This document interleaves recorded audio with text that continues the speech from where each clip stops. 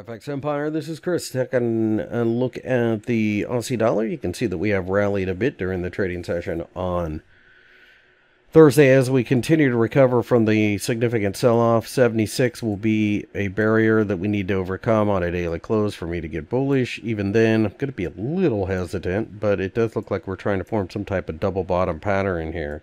If we break down below the lows, which admittedly looks less likely, uh, that opens up a trapdoor move down towards the 7170 area.